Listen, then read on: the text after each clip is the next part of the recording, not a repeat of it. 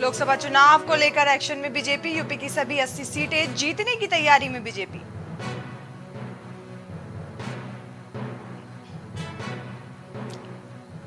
लखनऊ में बीसी सखी के राष्ट्रीय सम्मेलन का सीएम ने किया उद्घाटन, डिप्टी सीएम केशव प्रसाद मौर्य रहे मौजूद। सिटी फॉरेस्ट कांड मामले में पाँच को सजा अश्लील वीडियो बनाकर किया था वायरल। गाजियाबाद में पैसिफिक मॉल में सेक्स रैकेट का भांडाफोड़, तीन घंटे चली रेड। लखनऊ में आश्रम की प्रॉपर्टी के लिए महिला की हत्या, महंत की बेटी दामाद और नाती ने किया मर्डर।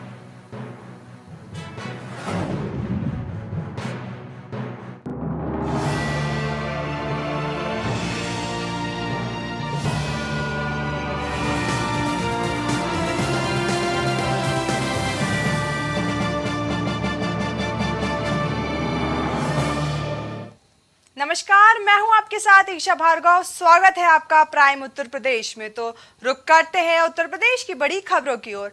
तो उत्तर प्रदेश में निकाय चुनाव संपन्न होने के बाद अब भारतीय जनता पार्टी आगामी लोकसभा चुनाव की तैयारियों में जुट गई है। बीजेपी ने इस बार यूपी की सभी 80 लोकसभा सीटों को जीतने का लक्ष्य रखा है। इस लक्ष्य को पूरा करने के लिए पार्टी एक महीने तक महाजनसंपर्क अभियान चलाने जा रही है। तो वहीं अब बीजेपी की तैयारी सरकार के कुछ मंत्रियों को लोकसभा चुनाव लड़ने की भी मानी जा रही है। माना जा रहा है कि बीजेपी निकाय चुनाव में अच्छा प्रदर्शन करने वाले सरकार के कुछ मंत्रियों को लोकसभा चुनाव में उम्मीदवार बना सकती है। मिशन 80 को पाने के लिए बीजेपी उत्तर प्रदेश में लगातार अपनी तैयारियों में जुटी हुई है। 30 मई से लेकर 30 जून तक बीजेपी को जहाँ महासंपर्क अभियान चलेगा वहीं अब बीजेपी की तैयारी है कि सरकार के कुछ बड़े चेहरों को भी चुनाव मैदान में उतारा जाए। पार्टी ने इसके लिए अपनी तैयारी भी शुरू कर दी है। दरअसल, कुछ मंत्रियों की उनके क्षेत्र में क्या लोकप्रियता है, इसको लेकर पार्टी एक रिपोर्ट तैयार कर रही है। खबरों की माने तो सरकार में कुछ बड़े चेहरे लोकसभा चुनाव में अपनी ताल ठोक सकते हैं।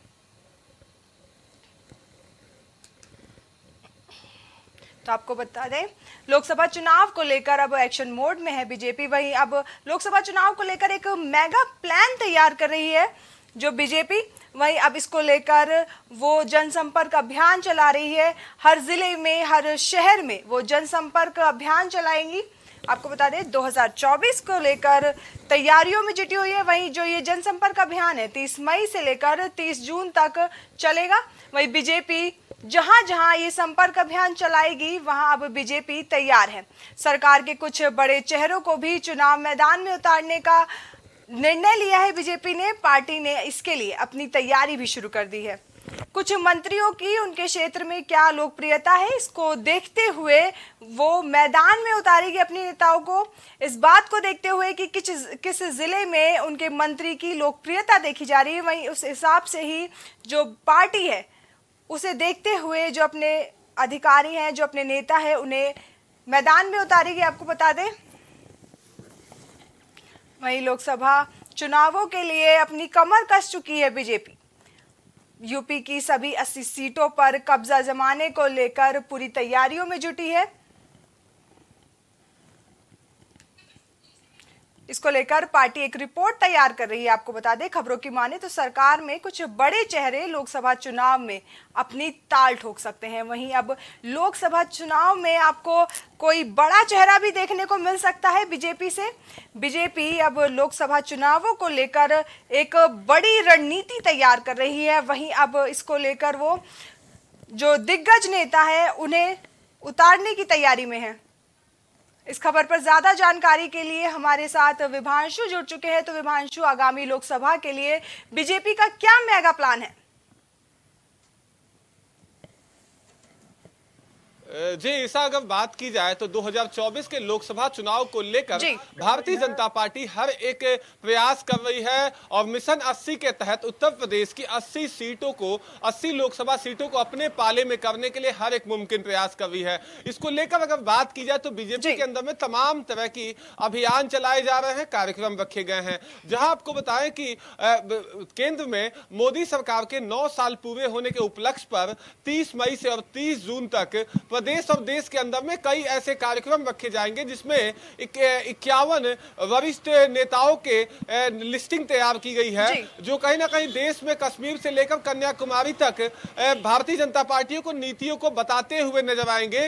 वहीं बीजेपी अगर बात करें तो टिफ़िन पे चर्चा और चाय पे चर्चा के कार्यक्रम को भी रखी है। उसी क्रम में आपको बताया कि उत्तर प्रदेश से अगर बात करें तो मिशन अस्सी के तहत उत्तर प्रदेश सरकार के कई मंत्रियों को जो उत्कृष्ट काम कर रहे हैं बेहतर काम कर रहे हैं जिनका रणधार है जो पूर्व में कहीं ना कहीं लोकसभा का सदस्य रहे हैं उनको कहीं ना कहीं लोकसभा का चुनाव लड़ाएगी अगर बात की जाए तो उत्तर प्रदेश के पीडब्ल्यूडी मंत्री जितिन प्रसाद और एमएसएमई मंत्री राकेश सचान के नाम को कहीं ना कहीं लोकसभा के उम्मीदवार के तौर पर देखा जा रहा है। ऐसे तमाम जो नेता हैं जो कहीं ना कहीं देखे तो प्रदेश की राजनीति से निकलकर और देश की राजनीति यानी कि लोकसभा का चुनाव लड़ेंगे। और आने वाले दिनों में जब भारतीय जनता पार्टी के तमाम कार्यक्रम होंगे इसको लेकर अब नामों की जो सरगर्मियाँ हैं वो तेज हो गई हैं। और आने वाले दिनों में ऐसे तमाम जो उत्तर प्रदेश के मंत्री हैं तमाम विधायक हैं उनको सांसद के तौर पर चुनावी मैदान में बीजेपी उतार सकती है। इसको लेकर मास्टर प्लान भी तैयार कर लिया गया है। साथ ही अगर बात की जाए तो भारतीय जनता पार्टी खास करके जिन सीटों पर सफलता हासिल नहीं कर पाई है ऐसे सीटों पर कहीं ना कहीं पुरजोर प्रयास कर रही है कि अपने पाले में करे। इसको लेकर तो जैसे कि आपने तो कहा आगामी लोकसभा चुनावों को लेकर जो बीजेपी है वो कुछ दिग्गज नेताओं को उतार सकती है। तो कौन कौन से ऐसे नेता हो सकते हैं जिनको वो आगामी लोकसभा के लिए उतार सकती है? जे बात की जाए तो पीडब्ल्यूडी मंत्री जितिन प्रसाद और उत्तर प्रदेश के एमएसएमई मंत्री राकेश सचान समेत कई ऐसे बुज़ुर्ग बड़े नेताओं पर कहीं ना कहीं बीजेपी अपना दाव लगा सकती है लोकसभा चुनाव में। और एक तरह से ये प्रमोशन होगा क्योंकि बात करें तो बीजेपी ने पहले ही इस बात को अस्वस्थ कर दिया है कि वो मिशन अस्सी अस्सी के तहत अस्सी सीटों पर चुनाव लड़ते हुए नज़र आएगी और अस्सी सीट कहीं ना कहीं अपने पाले में करेगी। आपको बताएँ कि बीजेपी का कहीं ना कहीं उत्तर प्रदेश में घटक दलों की बात करें तो निषाद पार्टी है साथ ही साथ अपना दल है। तो साफ़ तौर से बीजेपी कहीं ना कहीं अब 80 सीटों को अपने पाले में करने के लिए हर एक प्रयास कर रही है। साथ ही आपको बताएँ कि अगर बात की जाए तो अब लगभग 10 महीनों का समय लोकसभा चुनाव में बचा है और केंद्र सरकार के मंत्री प्रदेश के अंदर में और साथ ही साथ देश के अलग अलग कोनों में जाकर जो सौ नौ साल की नीति रही है भारतीय जनता पार्टी के जो विकास कार्य हुए हैं वो कहीं ना कहीं पटल पर रखकर और जनता से समर्थन मांगते हुए नज़र आएँगे। साथ ही बीजेपी अपने सदस्यता अभियान की भी शुरुआत करने जा रही है जिससे मिस कॉल मारकर अब सदस्यता अभियान की शुरुआत जल्द करेगी। अगर बात करें तो देश का विश्व का सबसे बड़ा संगठन राजनीतिक दल संगठन बीजेपी है और साथ ही सबसे ज़्यादा कार्यकर्ता है तो अब एक बार फिर कार्यकर्ताओं की श्रृंखला जो है उसमें इजाफा करने के लिए बीजेपी एक बार फिर सदस्यता अभियान शुरू करेगी। और निश्चित तौर से इस चुनाव में जहाँ विपक्षी दल लगातार कहीं ना कहीं तमाम मुद्दों को लेकर सरकार को घेरते हुए नज़र आ रहे हैं और भारतीय जनता पार्टी अगर देखा जाए तो हर वक्त चुनावी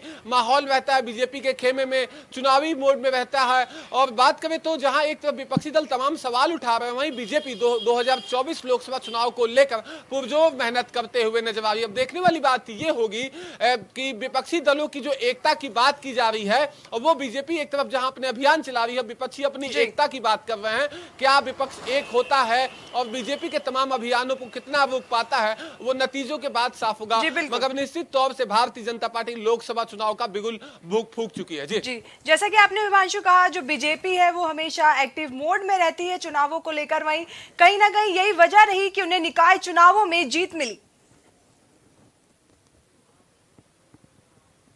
जी बिल्कुल आपको बता दें कि बीजेपी एक की सक्रियता है कि निकाय चुनाव में उत्तर प्रदेश के सत्रह नगर निगम में से सत्रह निगम नगर निगम अपने पाले में करती है। जिसके बाद अगर बात की जाए तो इस चुनाव को लोकसभा के सेमीफाइनल के तौर पर देखा जा रहा था और इसमें कहीं ना कहीं बीजेपी एक अच्छे मार्जिन के साथ ये सेमीफाइनल जीती है और इससे विपक्ष को कहीं ना कहीं एक कड़ा चुनौती होगा। और निश्चित तौर से अगर देखा जाए तो भारतीय जनता पार्टी निकाय चुनाव में सबसे सक्रिय रही जहाँ सूबे के मुख्यमंत्री दर्जनों सुपर सभाएँ करते हैं उप मुख्यमंत्री सभाएँ करते हैं सरकार के कई मंत्री अलग अलग क्षेत्रों में जाकर सरकार की नीतियों को बताते हुए नज़र आते हैं मगर विपक्ष पूरी तरह से निकाय चुनाव में एक स्थिर रहा। और आपको बता दें कि उत्तर प्रदेश के प्रमुख विपक्षी दल समाजवादी पार्टी के राष्ट्रीय अध्यक्ष अखिलेश यादव महज पाँच सभा करते हैं। और अब देखने वाली बात यह होगी कि क्या निकाय चुनाव से सबक लेकर और विपक्षी दल अपनी सक्रियता के साथ चुनावी मैदान में आते हैं वो तो वक्त बताएगा। जी। जी, बिल्कुल। विभांशु तो अब लोकसभा चुनाव में क्या कुछ क्या कुछ बीजेपी के लिए फ़ायदा रहता है, वो देखने वाली बात होगी। इस खबर पर जुड़ने के लिए धन्यवाद, विभांशु। तो आपको बता दें लोकसभा चुनाव को लेकर अब जो बीजेपी है, वो एक्शन मोड में दिखाई दे रही है।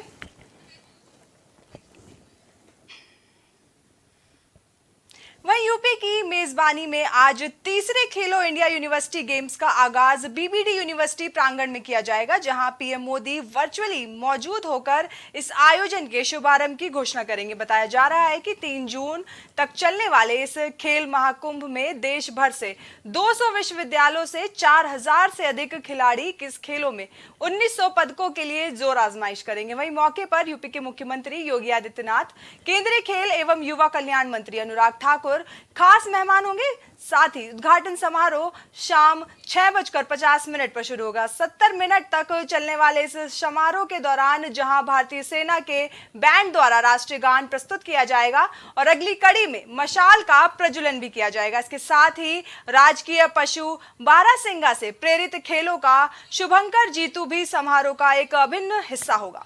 तो आपको बता दें, आज खेलो इंडिया का शुभारंभ होने जा रहा है। वहीं जो पीएम मोदी है, वो इससे वर्चुअली जुड़ेंगे और इस गेम्स का शुभारंभ करेंगे। तो आपको बता दें, आज खेलो इंडिया का शुभारंभ होने जा रहा है। वहीं अब इस गेम से कई जो प्रतियोगी हैं, उन्हें फ़ायदा मिल सकता है। आपको बता दें, आगामी प्रतियोगिताओं को लेकर कहीं ना कहीं इससे उनकी तैयारी जो है, वो और मज़बूत हो सकती है। इस खेलो इंडिया को इससे वहीं अब उद्घाटन का जो समय है, वो छह बजकर पचास मिनट है। आपको बता दें, सत्तर मिनट तक चलने वाले समारोह के दौरान जहाँ भारतीय सेना के बैंड द्वारा राष्ट्रगान प्रस्तुत भी किया जाएगा। इस खबर पर ज़्यादा जानकारी के लिए हमारे साथ विवेक जुड़ चुके हैं। तो विवेक, क्या कुछ इंतज़ाम हैं इस समारोह को लेकर? देखिए ईसा जिस तरीके से यूपी में खेलों के महाकुंभ की शुरुआत आज से शुरू हो चुकी है। इससे में हम बाबू बनारसी दास बैडमिंटन एकेडमी पे हैं। हम आपको बता दें कि यहाँ पे टेबल टेनिस और बैडमिंटन के इवेंट्स जो है वो आयोजित होंगे। और जिस तरीके से उत्तर प्रदेश में तीसरी बार लगातार खेलो इंडिया यूनिवर्सिटी गेम्स का आयोजन हो रहा है आज शाम को मुख्यमंत्री योगी आदित्यनाथ और केंद्रीय मंत्री अनुराग ठाकुर बीबीडी में मौजूद रहेंगे। इसके साथ ही साढ़े बजे प्रधानमंत्री नरेंद्र मोदी वर्चुअली माध्यम से इस खेलो इंडिया यूनिवर्सिटी गेम का उद्घाटन भी करेंगे। इस समय हम Babu Banarasi Das BBD UP badminton academy पे हैं। यहाँ पे आप देख सकते हैं किस प्रकार के आयोजन जो है वो वो हो रहा है। तमाम सारे चीज़ें आपको दिखा सकते हैं। और इसका खेलो इंडिया यूनिवर्सिटी गेम्स का जो लोगो है वो एक बारह सिंगा है जिसको लोगों के रूप में बनाया गया है। और देश के युवाओं को खेल में सहभागिता के लिए इस को जो है वो आयोजन किया जा रहा है। उसके बाद से हम आपको बता दें कि लगातार जो है ये आयोजन तीसरी बार हो रहा है। उत्तर प्रदेश के चार प्रमुख शहरों में इसका आयोजन किया जाएगा। अगर बात करें तो राजधानी लखनऊ से आज से आयोजन शुरू हो रहा है। उसके बाद गौतम बुद्ध नगर गोरखपुर और वाराणसी में इसका समापन होगा। ऐसा कहा जा रहा है कि समापन समारोह के दिन प्रधानमंत्री खुद वाराणसी में मौजूद होंगे क्योंकि ये उनका संसदीय क्षेत्र भी है। अगर बात करें तो दो सौ आठ विश्वविद्यालय के कुल सैतालीस 1500 से अधिक एथलीट जो है इस बड़े महाकुंभ के आयोजन में भाग भी ले रहे हैं और उसमें जो सभी जो एथलीट्स हैं, वो अलग अलग कुल 21 खेल के जो इवेंट्स हैं, उसमें पार्टिसिपेट करेंगे और अपने प्रतिभा का लोहा सभी के सामने मनवाएँगे। अगर बात करें तो उत्तर प्रदेश, राजधानी लखनऊ में आयोजन शुरू हो रहा है। उत्तर प्रदेश तकरीबन 25 करोड़ से अधिक की जनसंख्या वाला क्षेत्र है जहाँ पे युवाओं की जनसंख्या लगातार अधिक यहाँ पे बनी हुई है। अगर बात करें तो ये देखा जा सकता है कि पुराने समय की एक कहावत थी कि पढ़ोगे लिखोगे तो होगे नवाब खेलोगे कूदोगे तो होगे खराब। इस धारणा को इस पुरानी धारणा को खत्म करते हुए उत्तर प्रदेश सरकार लगातार तीसरी बार खेलो इंडिया यूनिवर्सिटी गेम्स का आयोजन कर रही है। और इस गेम्स के आयोजन होने के बाद सबसे बड़ी बात यह है कि जो स्कूली लेवल पे जो विश्वविद्यालय लेवल पे जो एथलीट्स है उनको मौका मिलेगा प्रदेश लेवल पे खेलने का देश लेवल पे खेलने का। उसके बाद ओलंपिक और नेशनल और तमाम तरह की जो एशियाड खेले हैं उनमें देश का प्रदेश का प्रतिनिधित्व करने का मौका मिलेगा। हम बात करें तो उत्तर प्रदेश में कुल चार इवेंट होने हैं चार जगहों पे लखनऊ गौतम बुद्ध नगर गोरखपुर और वाराणसी। लेकिन एक इवेंट ऐसा होगा जो उत्तर प्रदेश के बाहर होगा और देश की राजधानी लखनऊ में कराया जाएगा। जी। तो विभांशु माफ़ कीजिएगा विवेक कहीं ना कहीं इस खेलों से जो प्रतिभाएँ हैं वो बाहर निकल के आएँगी और जो हमारे आगामी प्रतियोगिताएँ हैं जो नेशनल स्तर पर खेल है उसमें कहीं ना कहीं सहयोग मिलेगा। लेकिन लगातार तीसरी बार उत्तर प्रदेश में इन खेलों का आयोजन हो रहा है और उत्तर प्रदेश की सरकार लगातार खेलों में उत्कृष्ट प्रदर्शन करने वालों को बढ़ावा भी दे रहे हैं। चाहे वो खेल राज्य मंत्री गिरीश चंद्र यादव हो या वो खेल निदेशक आरपी सिंह हो अगर बात करें तो मोदी सरकार से लेकर जो डबल की सरकार है वो लगातार खेलों को बढ़ावा दे रही है ताकि प्रतिभाएँ खेलों के माध्यम से भी निकल के सामने आए। ये बीबीडी का यूपी बैडमिंटन एकेडमी है यहाँ पे दो इवेंट होने हैं। एक इवेंट बैडमिंटन का होगा और दूसरा इवेंट टेबल टेनिस को होगा। हम आपको बता दें कि बैडमिंटन में साइना नेहवाल से लेकर तमाम ऐसी प्रतिभाएँ ये देश देख चुका है और तमाम ऐसी प्रतिभाएँ ये देश देखने के बाद ओलंपिक में साइना नेहवाल से लेकर पीवी संधु सबने पदक हासिल किए हैं। तो इस तरी इस तरीके से अगर देखा जाए तो मौका मिलेगा लोगों को इस तरीके प्लेटफॉर्म मिलेंगे तो वो ज़रूर ऊपर लेवल तक राष्ट्रीय स्तर या ओलंपिक के लेवल तक जाके चैंपियन बन सकेंगे और भारत का रुतबा जो है खेल में और भी आगे होगा। जैसा कि हमने देखा है कि चीन और अमेरिका का दबदबा जो है जापान का दबदबा जो है कोरिया रूस का जो दबदबा है वो ओलंपिक में पॉइंट टेबल पर बनाए रहता था। लेकिन अगर पिछले पाँच साल की बात करें तो आ, भारत ने अपना दबदबा जो है वो पॉइंट्स टेबल पे अब बढ़ाना शुरू किया है काबिल करना शुरू किया है। तो धीरे धीरे भारत अपनी ख्याति जो है वो बढ़ा रहा है। आप देख सकते हैं तमाम तरह की गाड़ियाँ जो है लगी हुई है। प्रशासन यहाँ पे चुस्त और मुस्तैद है। जो। सुरक्षा कर्मियों की तैयारी की गई की गई है। इसके अलावा बीबीटी बैडमिंटन अकेडमी में इंडोर में बैडमिंटन टेबल टेनिस के अलावा गुरु गोविंद सिंह स्पोर्ट्स कॉलेज में एथलीट्स ग्राउंड पर रग्बी एथलीट्स और इसी वेन्यू पर हॉकी फुटबॉल के भी इवेंट आयोजित किया जाएँगे। हालाँकि महिला फुटबॉल का आयोजन इकाना स्पोर्ट्स सिटी के फुटबॉल ग्राउंड पे होगा। बाकी अगर बात करें तो गोरखपुर में वाटर स्पोर्ट्स का इवेंट होना है। इसी तरह वाराणसी का एक वेन्यू है आईआईटी बनारस जहाँ पे कुश्ती की जो है वो इवेंट्स आयोजित होगा। उसके बाद योगासन का इवेंट्स आयोजित होगा। और अगर बात करें तो शेड्यूल की तो शेड्यूल भी बाकायदा इसका अलग अलग बनाया गया है। पहले चार दिन बास्केटबॉल होंगे आगे के चार दिन बैडमिंटन होंगे रग्बी रग्बी बाकी तीन दिन चलेंगे तो ऐसे कुल इक्कीस इवेंट के जो। है आठ दिनों में ये इवेंट बनाया गया है। पच्चीस मई से इसकी आज शुरुआत हो चुकी है और समापन तीन जून को बनारस में होगा इस जी। जी विवेक तो कहीं ना कहीं इन खेलों का फ़ायदा नेशनल स्तर पर भी मिल सकता है भारत को। जी बिल्कुल इस 208 विश्वविद्यालय के एथलीट्स भाग ले रहे हैं। सैतालीस से ज़्यादा एथलीट्स यहाँ पे भाग ले रहे हैं। 1500 वॉलंटियर लगे हैं उनको सुविधाएँ देने में उनको सेवाएँ देने में। डॉक्टर की बाकायदा टीम लगी हुई है। चिकित्सकीय उपचार के लिए। इसके अलावा 21 खेलों के इवेंट आयोजित होने अगर बात करें तो एक इवेंट दिल्ली में भी हो रहा है। बाकी चार इवेंट उत्तर प्रदेश के। चार प्रमुख शहरों लखनऊ वाराणसी गौतम बुद्ध नगर और गोरखपुर में होने कुल पंद्रह वेन्यूज तैयार किए गए हैं। इन पंद्रह अलग अलग वेन्यूज पे इक्कीस इवेंट्स के जो इवेंट्स आयोजित होंगे खेलों के। और 25 मई से 3 जून तक ये इवेंट चलेगा। और इससे प्रदेश के खेल संस्कृति में भी बढ़ावा मिलेगा। लोग जागरूक होंगे खेल के बारे में।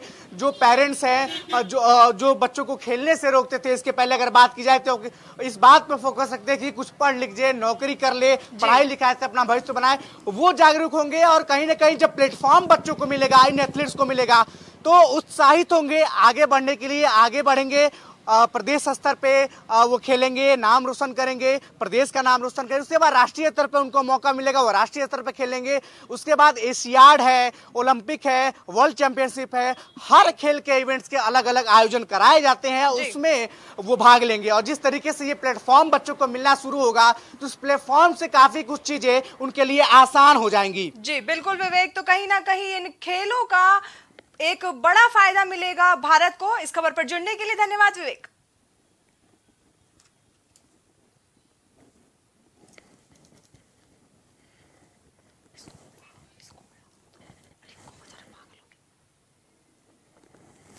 तो आपको बता दें, आज पीएम खेलो इंडिया का शुभारंभ करेंगे। वहीं इस खेलो इंडिया में आपको बता दें, कुल 21 गेम है। इन 21 गेमों में बैडमिंटन जैसे गेम है, वहीं इन गेमों का कहीं ना कहीं आगे की जो नेशनल स्तर पर प्रतियोगिताएँ हैं, उस पर भी फ़ायदा मिल सकता है। वहीं उन गेमों में भी कई प्रतिभाएँ जो हैं, वो निकल कर सामने आ सकती है इस खेलो इंडिया के ज़रिए।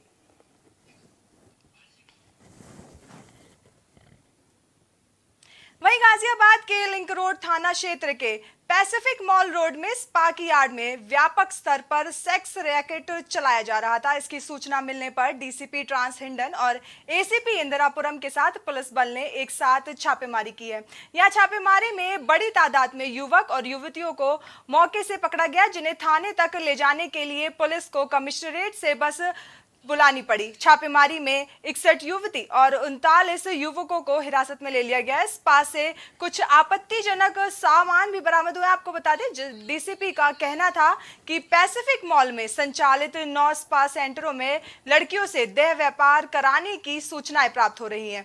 मुखबिर भेजकर वेरीफाई कराया गया। इसके बाद कार्रवाई भी की गई। पुलिस टीम ने मौके पर सौ लोगों को पकड़ा है, जिन्हें पूछताछ के लिए थाने लाया गया ये सभी गाजियाबाद, नोएडा सहित दिल्ली एनसीआर के शहरों के रहने वाले बताए जा रहे हैं। कस्टमर यहाँ स्पा कराते, कराने आते थे और उन्हें देह व्यापार का ऑफ़र किया जाता था। सूचना ये भी है कि उनहत्तर लड़कियों में कुछ विदेशी युवतियाँ भी हैं। पुलिस पूछताछ में जुटी है कि आखिर ये गंदा धंधा कब से चल रहा था और इसका मास्टरमाइंड कौन है? आज दिनांक 24 मई 2023 को थाना लिंक रोड में स्थित पैसिफिक मॉल के अंदर चलने वाले स्पा सेंटर्स पे ये सूचना प्राप्त हुई थी कि स्पा सेंटर्स की आड़ में यहाँ पे अनैतिक देह व्यापार का धंधा किया जा रहा है।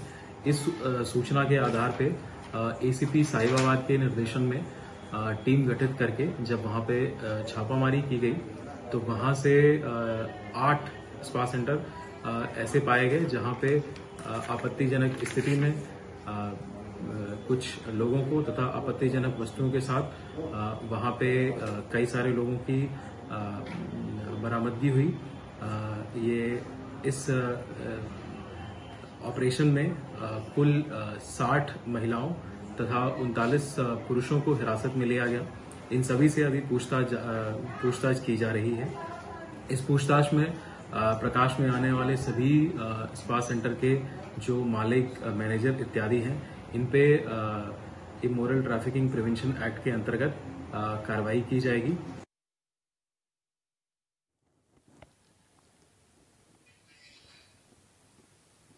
वहीं लखनऊ में खाटू श्याम मंदिर के पास कैलाशपुरी मंदिर आश्रम में प्रयागराज की मूर्छना उर्फ़ सपना पाठक की 19 मई को हत्या कर दी गई थी। महिला की हत्या प्रॉपर्टी को लेकर की गई थी। हत्या आश्रम के 104 साल के महंत राम सुमन चतुर्वेदी की बेटी दामाद और नाती ने की थी। पुलिस ने इसका खुलासा करते हुए चार लोगों को गिरफ़्तार कर लिया है। वहीं पुलिस ने बताया कि मंदिर के प्रॉपर्टी पर सपना का हक बढ़ता जा रहा था, जिस वजह से दामाद बेटी को छोटे छोटे खर्चों के लिए सपना के आगे हाथ फैलाना पड़ता था। इसीलिए उसे मार दिया गया। बताया जा रहा है कि 16 मई को सपना आश्रम आई थी। 21 मई को पुलिस को गौशाला में एक महिला को दफनाने की जानकारी मिली थी, जिसके बाद शव बाहर निकलवाया गया और पोस्टमार्टम के लिए भेज दिया गया। पोस्टमार्टम में पता चला है कि सपना की हत्या की गई थी। वहीं एडीसीपी सेंट्रल मनीषा सिंह ने सपना की हत्या में महंत राम सुमन चतुर्वेदी के साथ बेटी शीला मिश्रा, दामाद उदय मिश्र और नाती उदय भवान मिश्र को गिरफ़्तार कर लिया। है। तो आपको बता दें महंत ने गौशाला में जो बेटी थी उसका शव दफनाया था। वहीं अब आश्रम की प्रॉपर्टी के लिए आ, महिला की हत्या की गई थी। इस बात का खुलासा किया गया है अब पुलिस की तरफ़ से। आपको बता दें जो महंत की बेटी दामाद और नाती थे उन्होंने ये मर्डर किया था। वही मर्डर के पीछे की वजह जो वसीहत है जो पैसा है वो बताई जा रही है।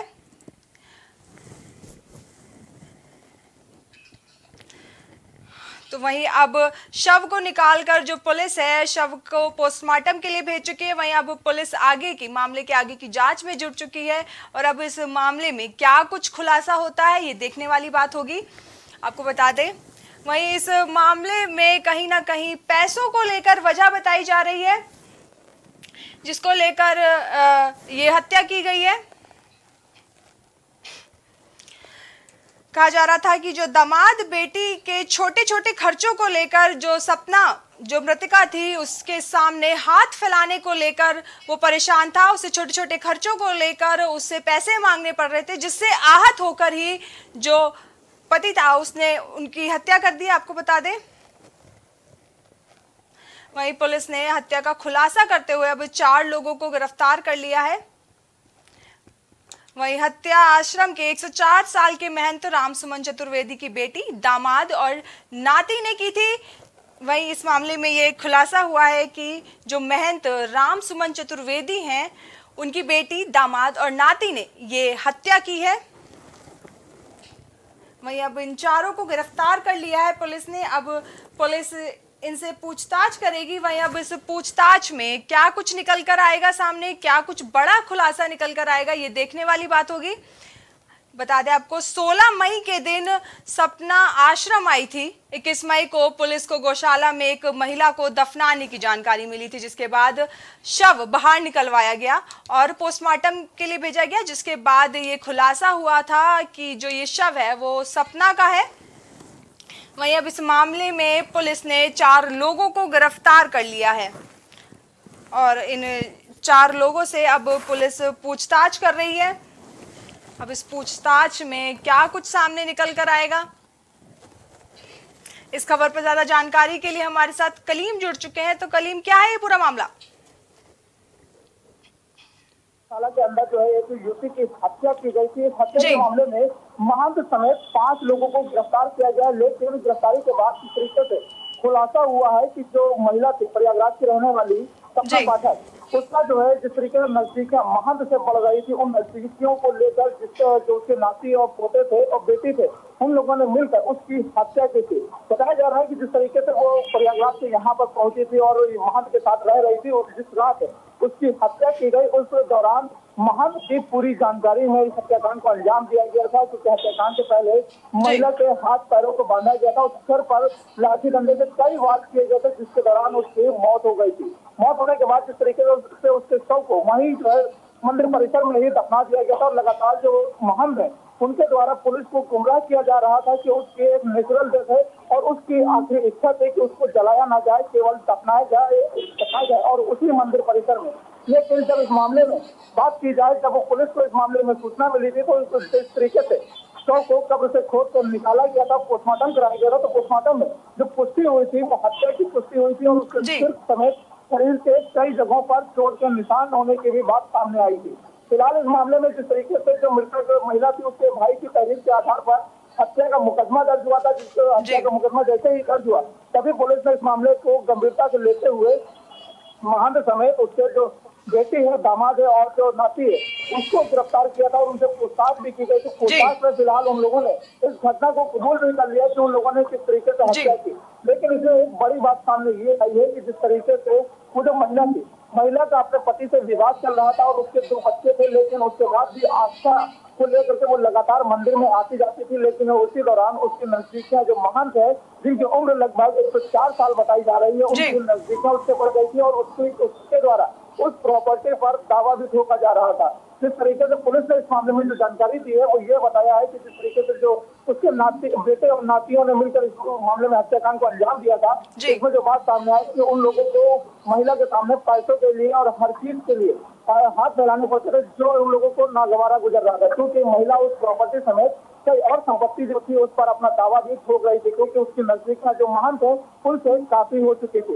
इन सभी मामलों को लेकर लगातार आक्रोश थे और इसी चीज़ को लेकर उनकी हत्या कर दी गई थी। लेकिन अब जो खुलासा हुआ तो उस खुलासे के बाद से फ़िलहाल कहीं ना कहीं ये कहा जा रहा है कि इस मामले में अब उस गिरफ्तारी के बाद जिस तरीके से जेल भेजा जा रहा है तो जेल भेजने के बाद आखिर और क्या कुछ कार्यवाही होंगी? या फिर जो। मंदिर परिसर है उस मंदिर परिसर पे किस तरीके से जो बात की जाए जो हत्या है या जो परिजन है उस मामले में और क्या कुछ एक्शन लिया जाएगा? जी बिल्कुल तो वही अब पुलिस ने चार लोगों को गिरफ़्तार कर लिया है इस मामले में। वही अब क्या कुछ बड़ा खुलासा हो सकता है इस मामले में?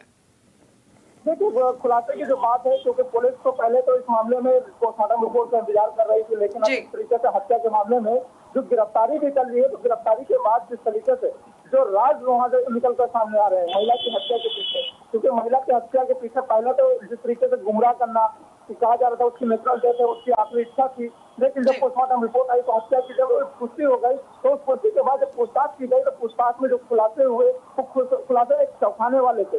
कि आखिरकार जहाँ पर नाती पोतों के साथ महंत जी जिनकी उम्र एक सौ चार साल है वो रह रहे थे आखिर उसका संबंध जो छप्पन वर्षीय महिला थी सपना पाठक उससे हो गया क्योंकि पहले तो वो जिस तरीके से वहाँ पर आस्था को लेकर आ रही थी फिर नजदीकियाँ जो बढ़ी उसके बाद जो प्रॉपर्टी पर हक जताया जाने लगा। तो कहीं ना कहीं ये कहा जा सकता है कि एक तरीके से दोनों लोग एक बेहद ही करीब आ चुके थे। जो कि उनके जो बेटी और पोते लोग थे उनको ना गवारा गुजर रहा था जिसको लेकर दामाद बेटी और पोते समेत सभी ने मिलकर इस हत्याकांड को अंजाम दिया और कहीं ना कहीं इस हत्याकांड में पूरा सहयोग जो है महान की ओर से दिया गया है।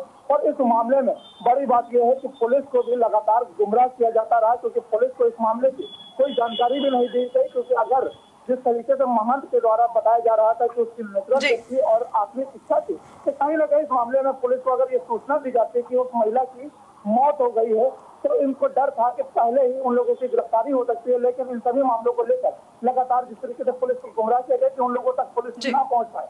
लेकिन जब जो राहगीर वहाँ पे आते थे जो और लोग आस्था के लिए आते थे जब उनको दुर्गंध उसकी दुर्गंध आई तब इस मामले को पुलिस की को जानकारी जी बिल्कुल। अब इसमें क्या कुछ निकल कर सामने आता है देखने वाली होगी बात होगी इस खबर पर जुड़ने के लिए धन्यवाद कली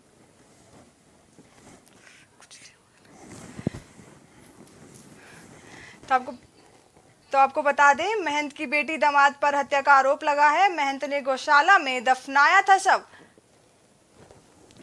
वही अब इस मामले में क्या कुछ निकल कर आता है? वो देखने वाली बात होगी। वहीं हमीरपुर के फॉरेस्ट पार्क के जंगल में घूमने आए युवक युवतियों का वीडियो बनाकर ज़ोर ज़बरदस्ती करने के मामले में विशेष न्यायाधीश डकैती कोर्ट पीके जयंत की अदालत ने पाँच आरोपियों को दोषी करार दे दिया है।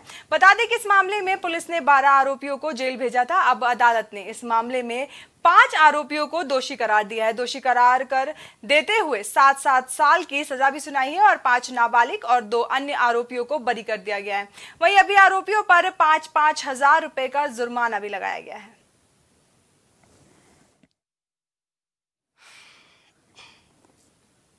गाजियाबाद में ट्रैफ़िक पुलिस के तमाम प्रयासों के बावजूद लगातार ऐसे वीडियो सोशल मीडिया पर वायरल हो रहे हैं, जिनमें युवा ट्रैफ़िक नियमों की अनदेखी और उल्लंघन करते हुए नज़र आते हैं। ऐसा ही एक वीडियो सामने आया है, जिसमें आप देख सकते हैं कि किस तरीके से एक स्कूटी पर छह लोग सवार हैं। वीडियो गाजियाबाद के कोतवाली क्षेत्र का बताया जा रहा है। ऐसे ही देहात और लौनी क्षेत्र के भी वीडियो है, जहाँ मोटरसाइकिल पर युवा स्टंट कर वीडियो बनाकर सोशल मीडिया पर फ़ेमस होने के लिए जानलेवा सेवा कोशिश करते हैं। वहीं गाजियाबाद के ट्रैफ़िक एडीसीपी रामानंद कुशवाहा ने बताया कि दोपहिया वाहनों से हो रहे हादसों की संख्या ज़्यादा है और इस हादसों में कई वाहन चालकों की मौत भी हुई है, जिसको लेकर विशेष अभियान चलाया गया, जिसमें अब तक छह हज़ार तीन सौ बयालीस वाहनों का चलान काटा जा चुका है। सर गाजियाबाद ट्रैफ़िक पुलिस लगातार कार्रवाई करती दिखाई दे रही है, पर बावजूद इसके लगातार सोशल मीडिया पर वीडियो वायरल होते हुए नज़र आ रहे हैं, जहाँ युवा ट्रैफ़िक नियमों की उल्लंघन करते हुए नज़र आ रहे हैं। तो उस पर किस तरह से कार्रवाई करते हो क्या कुछ संदेश आप देना चाहेंगे? देखिए लगभग हम लोगों ने 200 स्कूलों का कवर किया है, स्कूल और कॉलेज, जहाँ पर उन्होंने अवेयरनेस प्रोग्राम चलाया है। और इस पर जो भी सोशल मीडिया पर स्टैंड करते हुए जो फ़ोटो में प्राप्त होते हैं, उसकी जाँच करके हम लोग इस पर कार्रवाई करते हैं। मैक्सिमम धाराओं में कार्रवाई की जाती है मैक्सिमम जुर्माना भी लगाया जाता है। और इसमें सबसे बड़ी बात है कि आजकल के जो यूथ है, उनको इससे बहुत ज़्यादा उनकी लाइकिंग और फेसबुक और यूट्यूब पर उनके फॉलोअर हो जाते हैं। और इसको लोग कुछ ऐसे नए उम्र के लड़के हैं जिनको लोग पसंद भी करते हैं। इस पर हम लोग रोक लगाने के लिए अभियान भी चला रहे हैं, कार्रवाई भी कर रहे हैं। और ऐसे हमारे लोगों से अनुरोध भी है कि इस पर अपनी जान जोखिम में न डालें और कोई स्टंट न करें। ये गैर कानूनी है और इसमें आपकी भी जान जा सकती है और दूसरे की भी जान जा सकती है।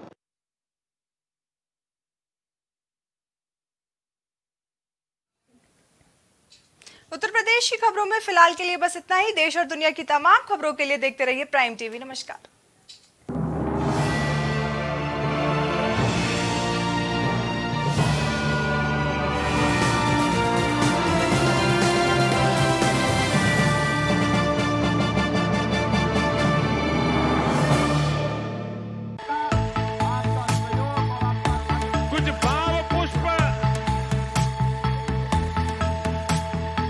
आप देख रहे हैं प्राइम टीवी सच साहस सरोकार